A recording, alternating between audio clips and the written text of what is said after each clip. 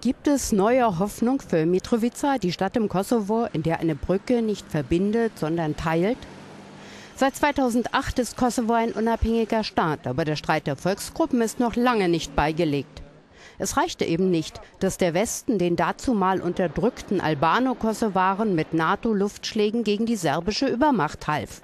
Dies wird immer serbisch bleiben, von irgendwelchen Abkommen halte ich gar nichts, sagt Gordana Djokovic aus dem Serbenviertel.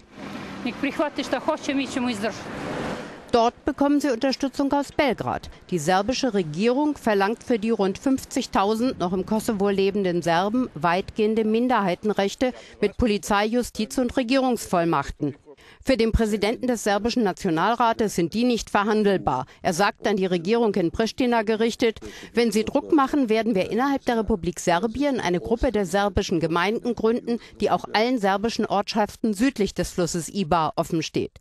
Ibar ist der Fluss, der Mitrovica teilt. Von den zehn in Frage kommenden Ortschaften liegen vier nördlich und sechs südlich davon.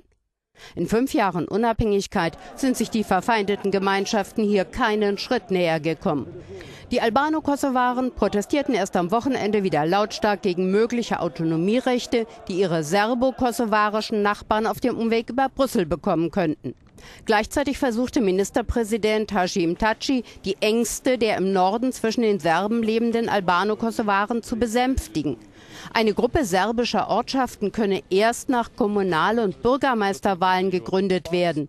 Die werde dann aber weder ein legislatives noch ein exekutives Mandat haben, noch sonst eine Form von Regierungsrecht, betonte der Regierungschef.